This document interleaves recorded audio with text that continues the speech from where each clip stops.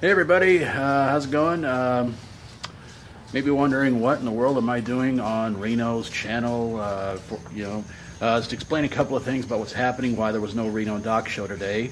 Uh, one of the reasons is because, well, if you guys can see, let me give you guys a quick shot of this really bad weather happening around here. That's part of it.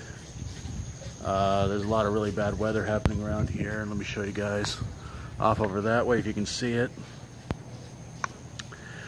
And uh, and uh, the other reason is because Reno's having some car trouble right now. So I asked him if I if I could and if he wanted to uh, do a quick video for you guys about what's going on on his channel.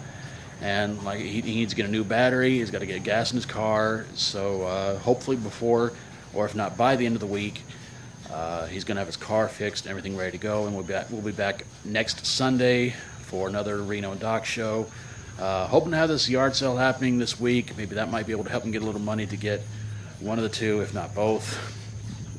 But uh, hope you guys understand. We will do our best to be back on next Sunday for the Reno and Doc show. So I'll, I'll do what I can to round up about two weeks worth of weird stories for you guys. So, uh, so hope you guys understand. And uh, if you would, please subscribe to Reno's channel and his other one, Reno Wheat, my channel, Dr. Metal Freak. Uh, help uh, help this channel get to 200 subscribers. The Reno Wheat one get to 100.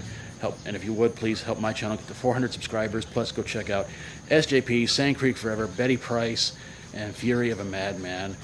So uh, hopefully we'll see you guys next Sunday for the Reno and Doc show. Take care of yourselves, and we'll see you guys hopefully next Sunday. So as always say on my channel, stay strong, rock on.